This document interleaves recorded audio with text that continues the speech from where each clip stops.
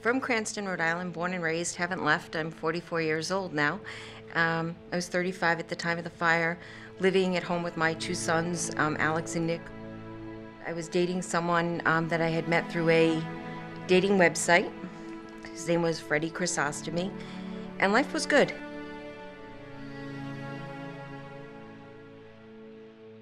Fred was a great guy. He taught me pretty much everything about like sports and you know like how to pretty much be a man and be respectful. Rock has been my very big love for a very long time. Started with the Rolling Stones. Just a passion for it. While I was in my marriage, kind of went to the wayside for a little bit. He wasn't into that kind of music, um, but then met Fred and jumped right back on the bandwagon.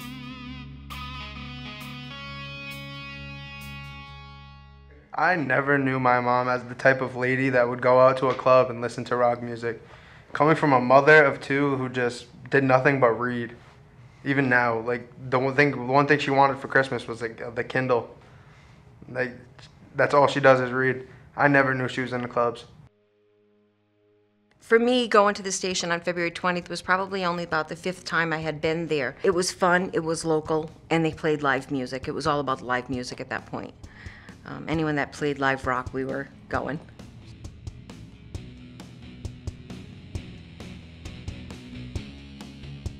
Once they said Great White was going to be taking the stage, it truly was body to body, shoulder to shoulder. You couldn't turn around, you couldn't twist around. Um, there were a lot of people. Great White came out, uh, Jack Russell said, said, a few words, um, trying to get the crowd going, and they started into the song Desert Moon, and all of a sudden the pyrotechnics went up.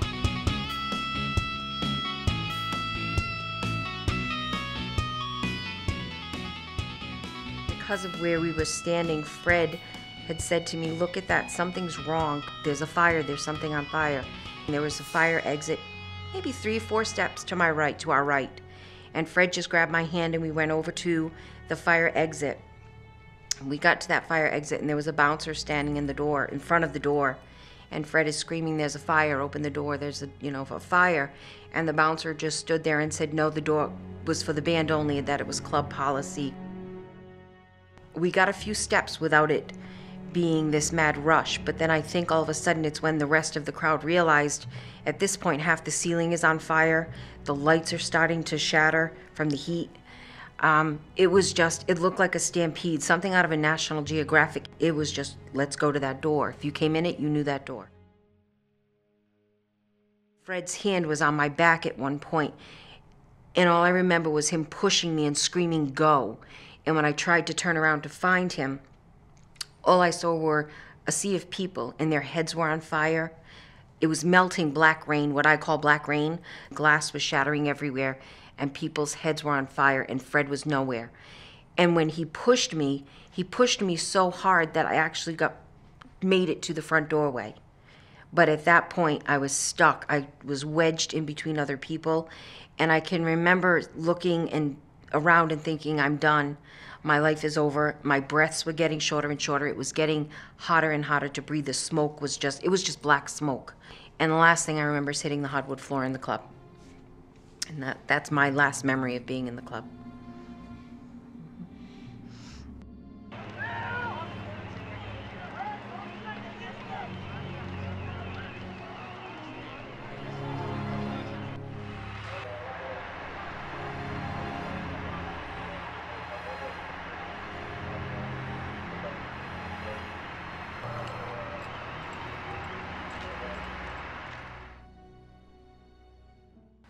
I was about six years old when the state the fire happened. My grandma got a call and she told me and my brother. I heard everyone in the house, you know, screaming, yelling, like getting all mad, and I, I just, I was only nine, so I didn't get out of my bed.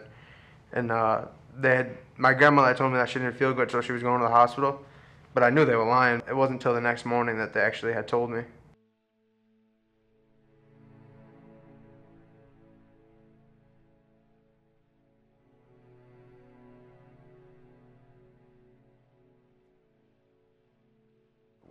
Uh, quickly ran out of bed space. You know, our, our burn service was already pretty busy, and we didn't have any, you know, empty beds. So we got uh, beds in the surgical ICUs and the medical ICUs, and um, you know, all intensive care units throughout the hospital that would allow us to uh, put burn patients there. And I called the uh, Shriners, and they have a, a, wonderful hospital here, licensed for children, and asked if we could uh, put adults here. And they uh, very kindly said yes, you know, it's an emergency, and they'd be happy to do that, which is really uh, wonderful. And uh, to my knowledge, it's the first adult admissions that have ever come into Shriners.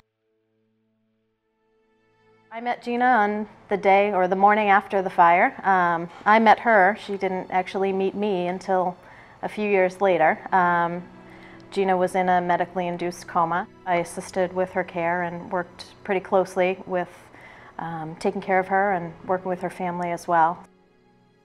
Gina's injuries were quite extensive. Um, she did have third and fourth degree burns, which um, burns down through the skin to bone um, and fat as well. Um, some of the most extensive burns that I've seen um, in my 10 years here.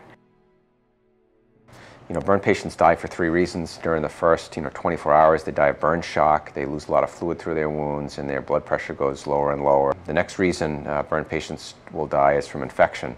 Uh, their wounds get infected. There's a lot of dead skin and fat and muscle in their wounds. And then the third reason uh, patients will die is from respiratory failure if they've inhaled a lot of uh, bad smoke and they basically can slough the lining of their lungs and their lungs uh, no longer will give them enough oxygen. And so uh, respiratory support's an important component of uh, taking care of patients like Gina with, with a smoke inhalation injury. So those three things sort of, sort of happen all together. I woke up 11 weeks later from a medically induced coma. I remember, remember asking where Fred was, and I just, at that point, was rational enough to say, okay, if I'm alive but injured, maybe he is too. And she said to me, well, he's not here. Fred's not here. And I said, well, what hospital is he in? And she said, no, he's not here. He died. He died in the club.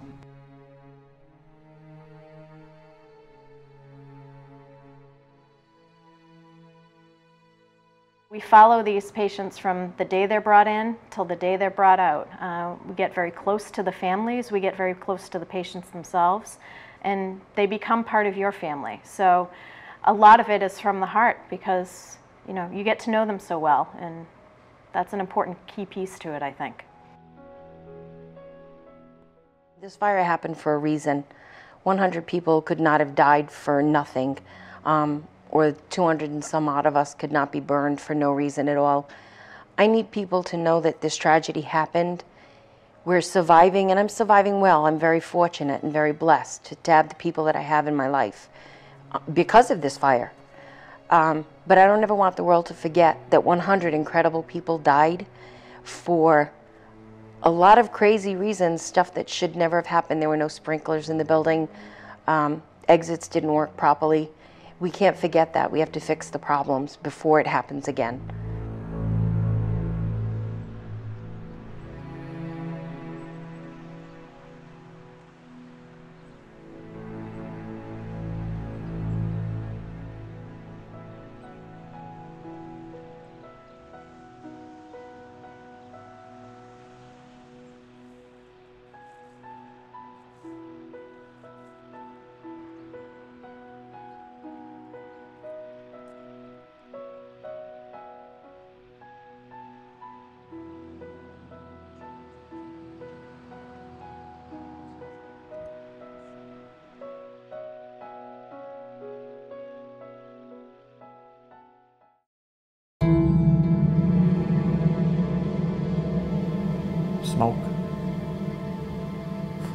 Know when uh, like you get a new toaster and you plug it in and the coils get hot and they start they smell like they're burning. That kind of stuff bothers me now.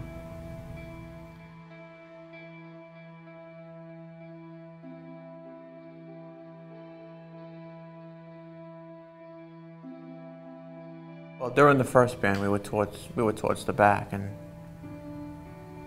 while there was an intermission, we worked our way to the front. They started playing, they, they lit the sparkler things, and a few seconds later, there was flame.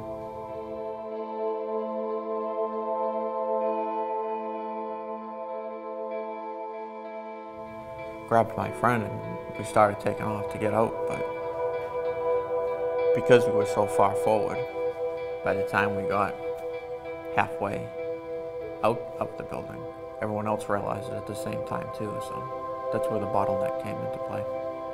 Some folks in front of me fell down, and so with the push, everyone else started to fall down too. So I fell, my friend fell. I remember going black, and all the cries and calls for help and the screaming. And then a little less and a little less until it was pretty much just me.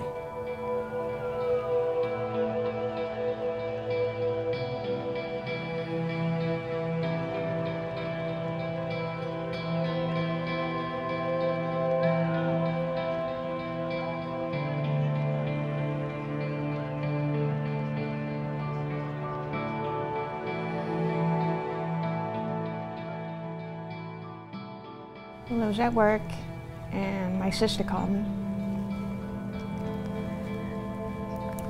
And she's like, this is at 7 o'clock in the morning. She's like, you gotta go find Joe. He went to that concert last night. And I said, okay. So I said to work, I said, I gotta punch out, I gotta go find my brother.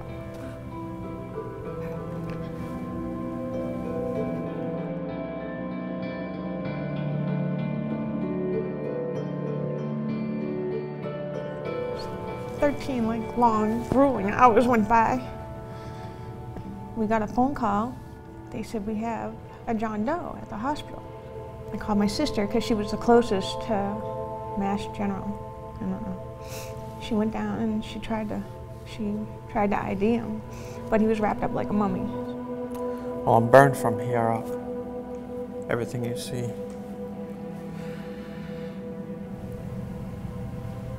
Because there were so many things that were just wrong. Not enough exits. No way to put out the flames. Things just should, shouldn't be like that.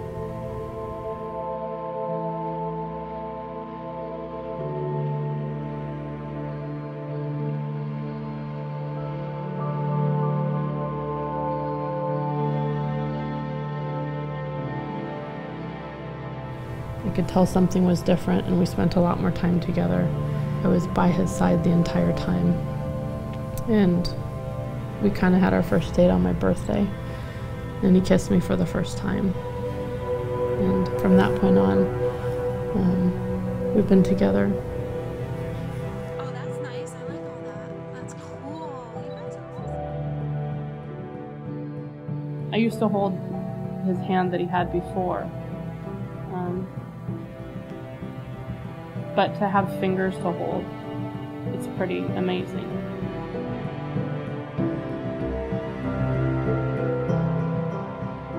Since I haven't used a left hand in almost 10 years, that part of my brain has been sleeping also.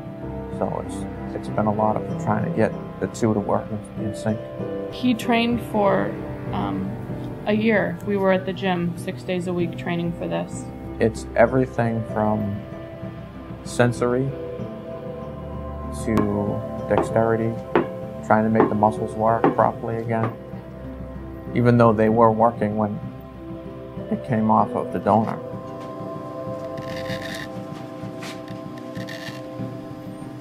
It'll be really awesome the day when I reach over and hold his hand and he says, I can feel you. That'll be cool. Basically, just wishing that it didn't happen and being glad for the people that are still around that, are trying to get on with their lives, like me.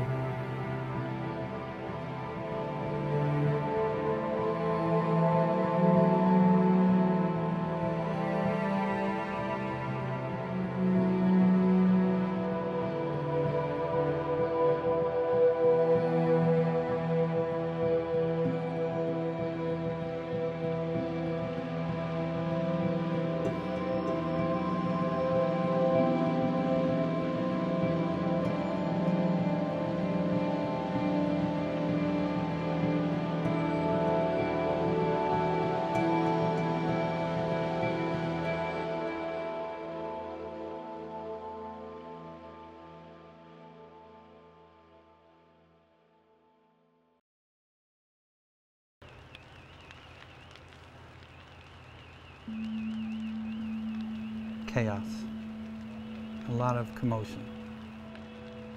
I remember right where I was when you started hearing this commotion on the radio. Well, it's supposed to find we more, more rescues. We got at least a couple hundred people. It's severe burns. At least another hundred inside. You could tell that whatever this guy was seeing, when you heard it on the radio, um, you knew it was bad. Are fully engulfed, fully engulfed building. We have people on fire inside. Fire apparatus scene. I, I've always said, uh, you know, being a firefighter was the greatest job in the world.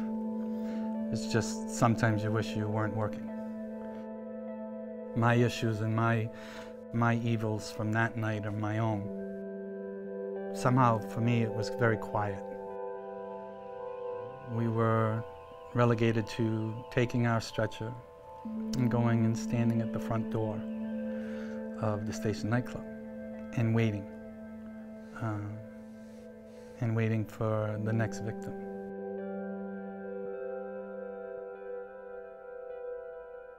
Our stretcher and ourselves, myself and my partner, were standing there watching the firefighters working not 10 feet from us. And they were pulling um, bodies out um, with ropes. They were reaching in, lassoing them, and just pulling. And as bodies would come out, they would. Um, they, they had trouble trying to get them to the area that was marked as the morgue, temporary morgue, which was nothing more than a tarp laid on the ground. And the stretcher was in such a way that as they dragged them over the hood of one car, they would use the stretcher for the bridge to get them over to the hood of the other car to get them over to, to drag them over to the, to the morgue area.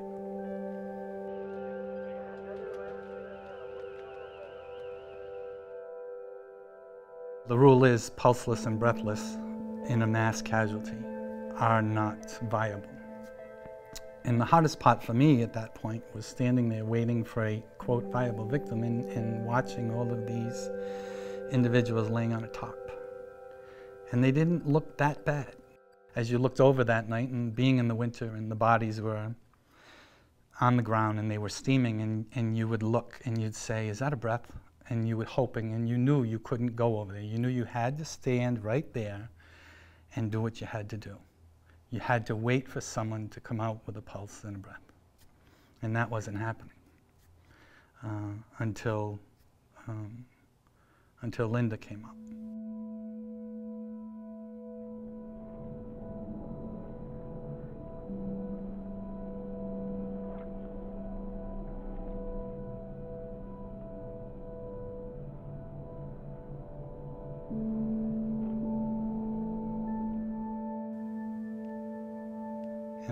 Guy just stopped in this look in his eyes and he said, It moved. And I looked and I said back, No, it didn't.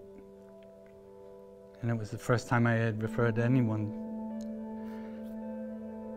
as an it, but you couldn't tell. You know, you, you couldn't, you, you could see it was obviously a person, but the injuries were such that you couldn't decipher male from female. And then they were arguing that it hadn't moved. And then she uh, just reared her head and made this sound, trying to tell us that, you know, that she was alive. And, uh, and, and I, was, I was like, oh God. So we got her in the truck, and I remember David saying to me from the front, We're not getting out of here. We were blocked in. Her injuries were primarily head. Her left arm was, was burnt, pretty much her hand was gone. Her ears were not noticeable. Um, she had no hair left.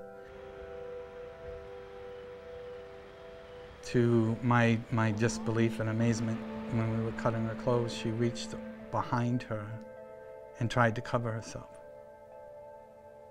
Which meant to me, which told me that she knew exactly what was going on. And the fact that she could know what was going on and, and know that she was holding my hand um, was, was, I couldn't comprehend because I couldn't imagine, and I hate to say this, but I couldn't imagine the brain surviving that kind of heat in the skull. Just that alone, never, let alone what she inhaled, let alone, you know, the, the, the amount of burns she had.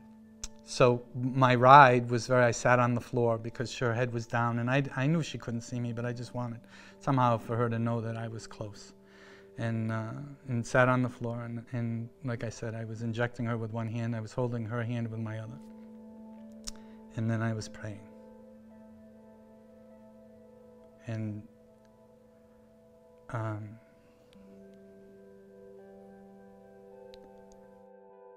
I was praying that someone wasn't going to make it. I remember that feeling of just looking at the totality of this young woman's injuries and the fact that modern medicine is where it's at. The potential of her surviving this was was greater than I had wanted it to be. And I know that sounds terrible, but she needed to be comfortable. We needed to be there. You know, she needed to be out of there 10 or 15 minutes sooner. Or we needed to be there five minutes later. And I'd never prayed like that before. And uh, it's a hard thing to swallow. Even to this day, to imagine dedicating my career to helping people and praying on the, sitting on the floor praying that someone would go. It's not something that you usually do.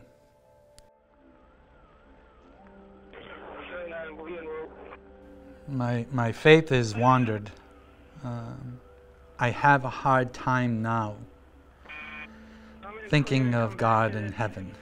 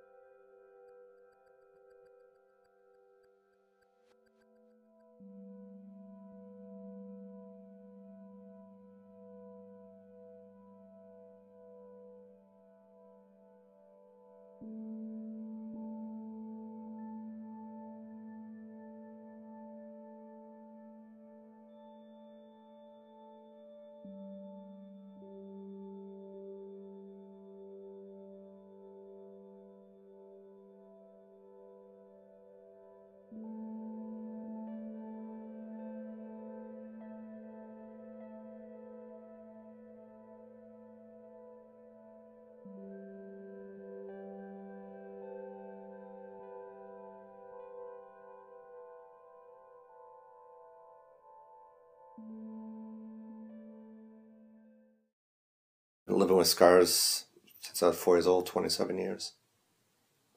The hat that my great aunt had bought me had blown off and landed near the dog who was sleeping on the sidewalk. And when I went to pick it up, the dog like woke up and just pounced on me and pretty much mauled me.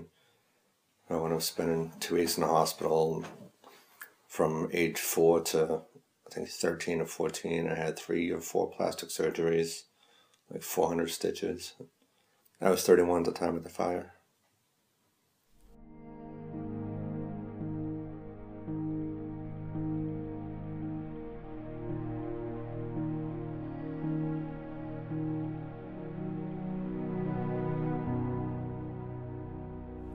And Robert Feeney from Plymouth, Massachusetts. I was living in Fall River with my girlfriend at the time, and she had two young daughters. We were in the process of planning our future. The night before the fire, we booked the reception hall and everything. Mark Kendall was one of my favorite guitarists. I guess having the opportunity to see him that up close, I was like, I'm not going to pass it up.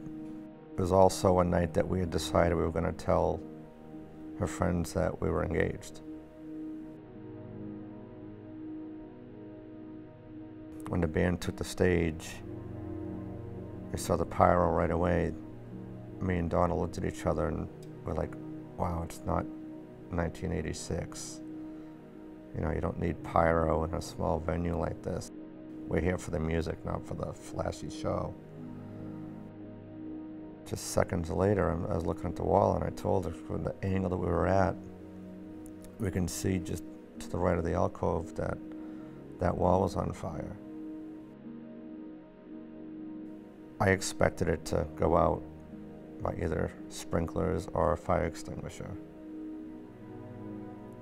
So we started headed towards the exit next to the stage and saw the band was jumping off. And then uh, one of the bouncers grabbed Donna by the shoulders and held her back into me and told her that it was for the band only and that we had to wait to get out the front door. We probably walked about six steps when the flashover occurred and and the flames just shot from the stage straight down the other end of the building. The last thing that I said to her was I'm going to count to three and I'm going to get you through the crowd. And I got to two, and from this we got hit from the right side, and it was a body that was burning from head to toe.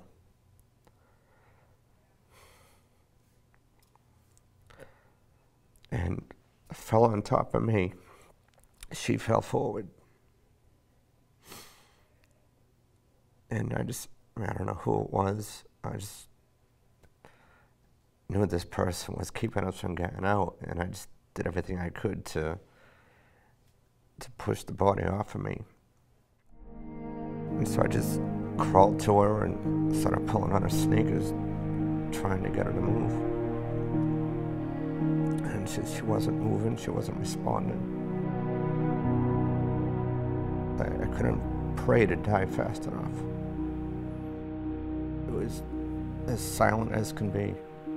No more screamings, no fire alarm. There was just crackling of wood. I crawled to where I thought the nearest wall was. And just, I found that and just ran my hand up as high as I could reach and just followed it and followed it until I found an opening. And I just leaped up and dove through it. Kathy made it out. Donna Mary and Pam didn't.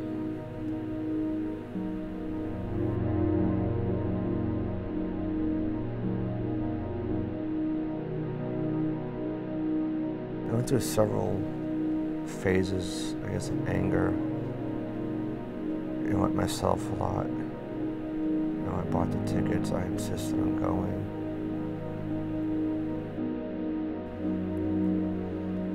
I could say I probably went a good nine months where I didn't have a sober day.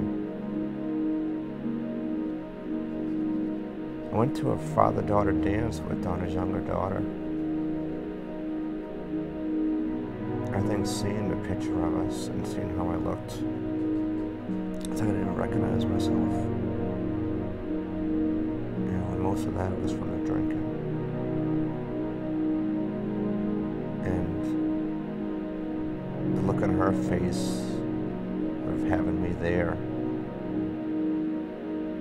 it, it pretty much sunk in that there's still a lot more that I have to be around for.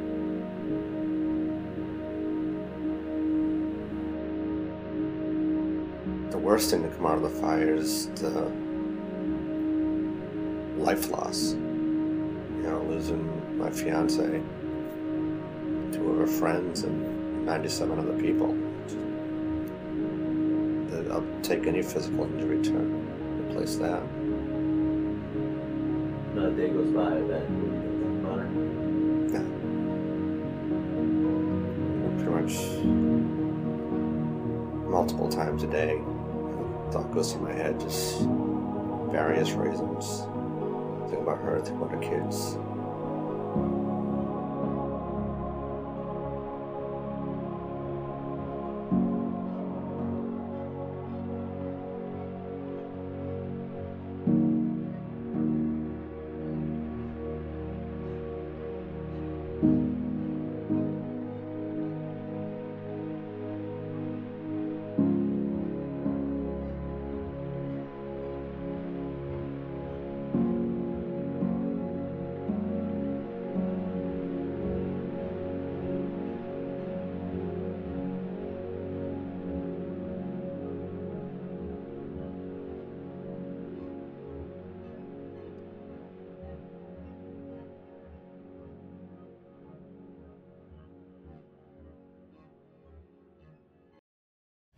My daughter, I just figured that that's what mommy's arms look like. And when she was little, it took me a while to figure out why she was doing it. She would take a pen and she would start to draw on her arms.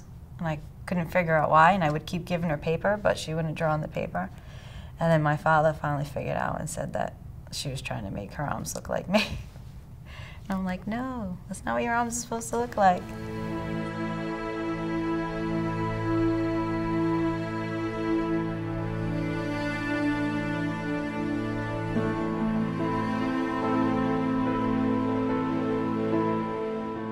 My, um, my grandfather died two days before the station fire, and I was originally going to go out and get something to wear to his wake and funeral because I just had a baby, so I didn't have anything. And I was going to go with my best friend when I called her. She had already made a commitment to go there, so she said, you know, just come, we'll figure out what you can wear later on, just come out with us. We wiggled up towards the front. We were probably about three rows from the front. We joked about how they were squishing us all in there. It was just kind of a, a common thing to know that it was always overstuffed. They came on the stage. The fireworks or pyrotechnics went off, and I remember being surprised that they had that. And then I saw in the ceiling where there was a fire starting. So I grabbed my best friend's hand, and we looked at each other, and we just started to head out. We got probably not quite to the door when all the lights went out. And um, then you could feel like the pushing of everybody else trying to get out. And I got pushed past where the front door was, and my friend got pushed towards the door. I could feel Carrie's hand slipping from me. That's when I knew. You were scared then? Yeah. I got pushed past where the door was, and I just, I vaguely remember when we got there, noticing the big windows and you could see the people in the bar, and for whatever reason, they're stuck in my head, so I kind of, I, or I hoped in my head I knew the direction of it, and I just kept trying to head in that direction, but um, there was so many people and it was dark, I kept getting pushed down.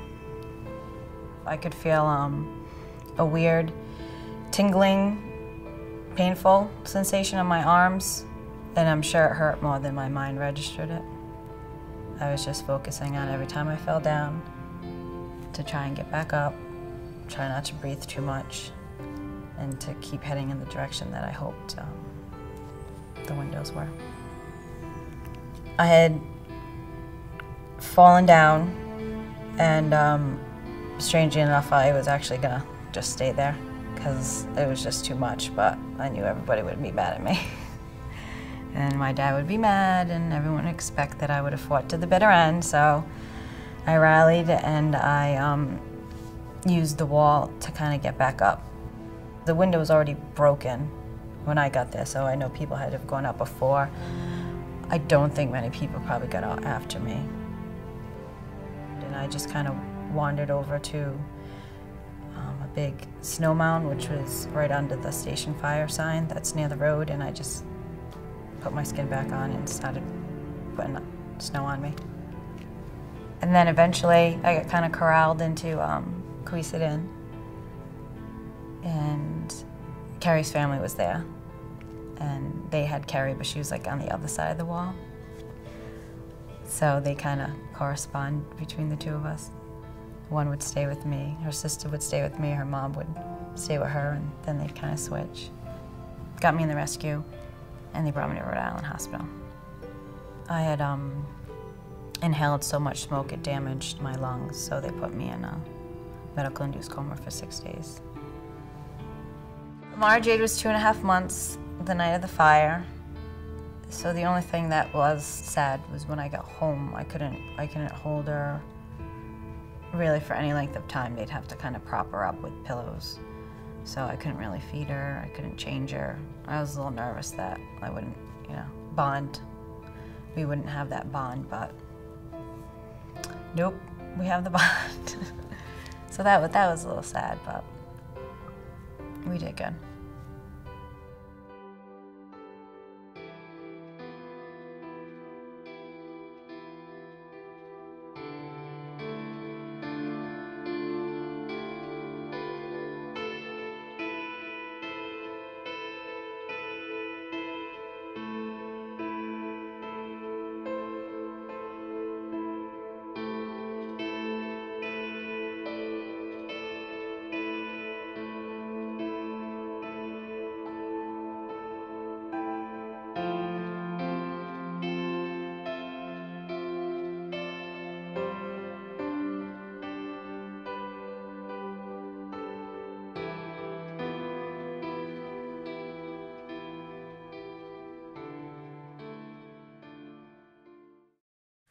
I got offered 40 bucks and a t-shirt to work for the merchandise table for the band, and I said, well, I got in for free, I'm drinking cheap, it's a band that I love. A lot of my friends are gonna be here. What the heck, I'll just stay.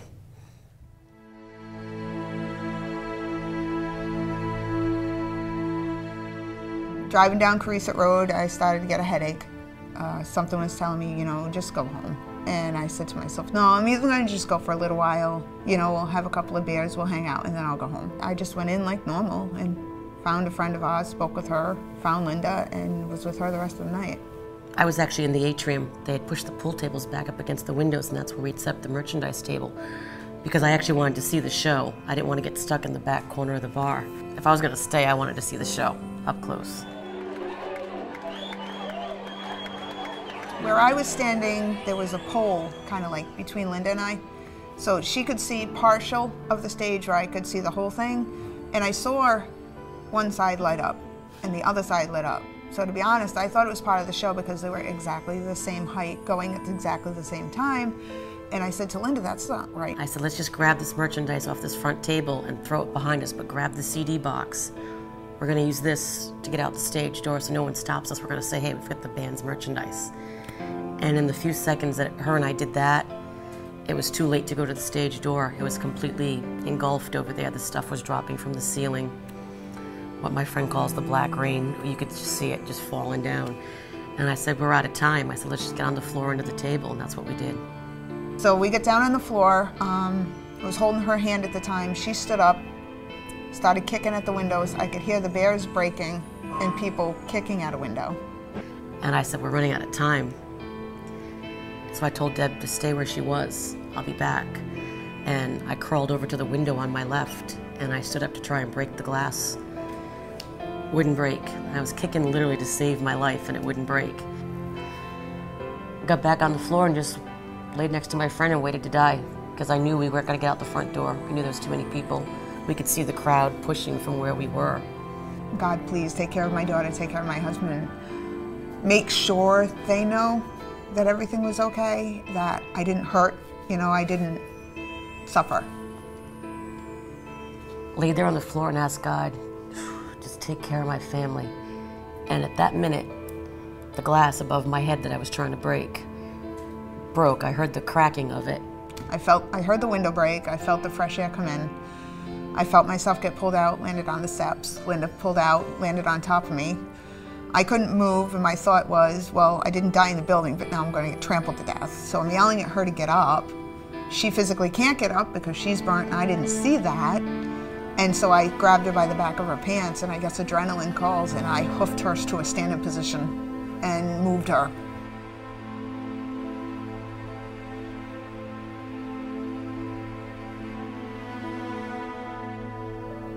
Kind of stood in shock in the parking lot at the craziness out there. Because inside, except for the bottles exploding and the roar like the fire, it was kind of almost quiet inside. And then when we were outside, it was pandemonium. It was like literally an entirely different world. And I looked down for the first time. and actually looked, and all the skin was starting to slough off of my arms. It looked like, kind of like my elastic here. It was all rings of black that looked kind of like jelly bracelets or elastics, all just kind of hanging around the edges of my wrists. And I was like, oh my God, how did I not feel that or know that that was happening? And I just stood there and waited. And then finally, my husband showed up. And the look of horror on his face. I said to myself, God, I must be so much worse than I actually feel in this moment. For that look on his face, he was horrified. I saw a lot that I probably shouldn't have seen, but in that state of mind, it doesn't register in your head what's going on.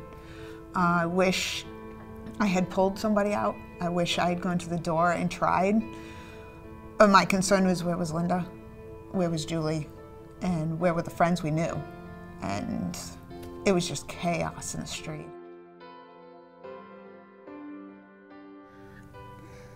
I don't have any survivor's guilt because I think the way I got out by getting out through that window and the fact that me getting up and kicking at that window is what let the person outside the window at the stairs pulling people out of the door. He, he heard me, went to his car, got a tire iron, came back, smashed the glass. He saved me, my friend, and like 25 or 26 others came out that window. So I know that indirectly my actions saved not only myself and my, one of my best friends, but 26 others.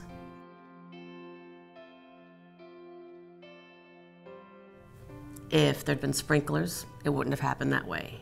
If there was a fire extinguisher on the stage, it probably wouldn't have happened the way it happened. You know, there's just so many, if there wasn't so many people in there, if more people knew other exits that were available. So it's like, you know, if you changed one thing in that situation that night, we probably wouldn't have lost 100 people.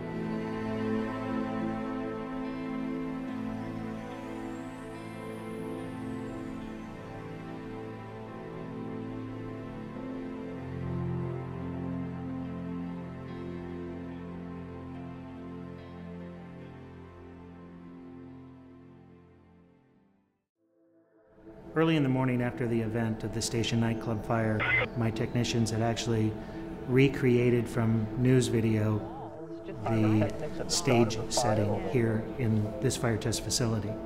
They wanted to be able to burn and understand what happened. How did it get out of control so quickly? That's what we do here. We do fire protection research.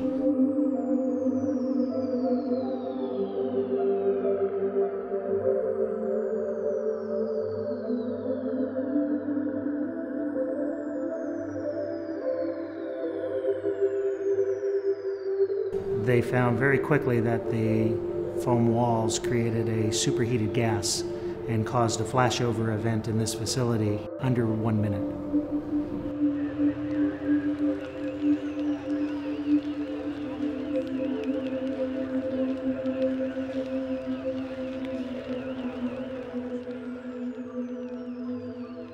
A flashover is an accumulation of superheated gas at the ceiling, and when it reaches a certain temperature, all combustibles in the room will spontaneously combust. Uh, the combustibles in the nightclub would be the furnishings, the wall coverings, the flooring material, and unfortunately, even the people.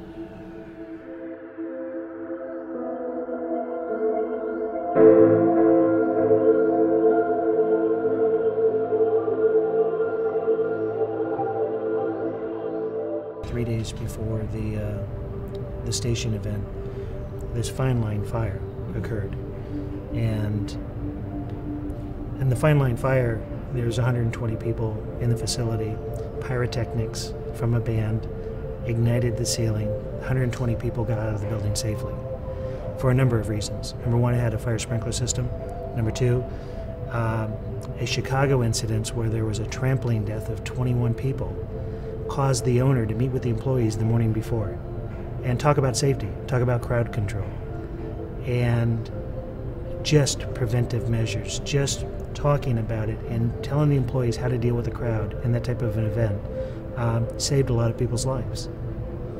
Having the right fire protection equipment, having extinguishers, maintaining your fire protection equipment, all contributed to why the headline was the band had to cancel that night instead of 120 people being killed or injured.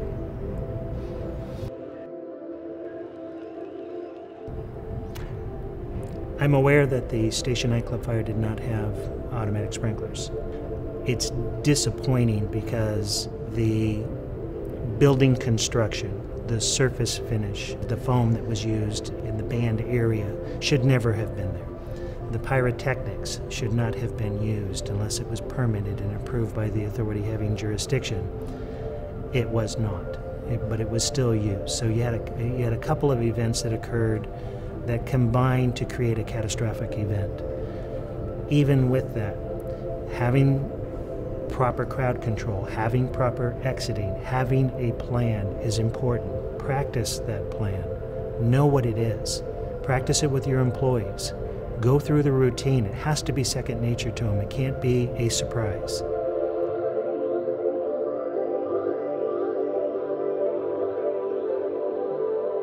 Multiple changes occurred as a result of the station nightclub fire.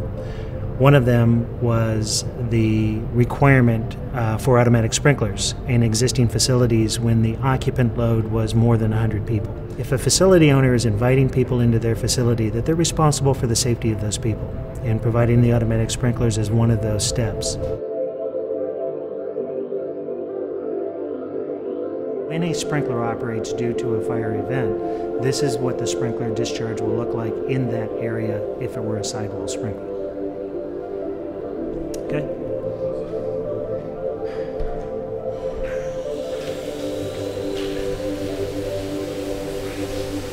So if the ceiling temperature in the area of a sprinkler gets to 155 degrees, a sprinkler will activate. It will cool the temperature of the air, preventing flashover, and it will discharge water to prevent what's burning from continuing to burn and control it until the fire department gets there to uh, clean up the fire.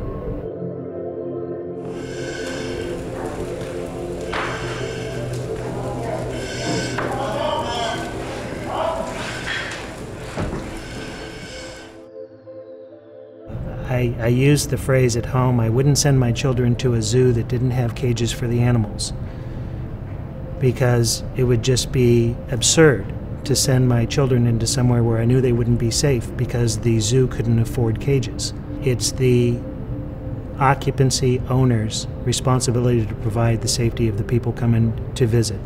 They're, they're providing a service, entertainment, and they're responsible for the safety, so that's what they should do, is comply with the codes and the standards. And, and sometimes they're confusing. Sometimes you need help. Call your local fire department, call your building department, tell them that you need some help in planning or what to do or how you train your people. They will provide that assistance. If they can't, they will give you someone that can help you. And it's important that the services are out there for people to get the information to do it right.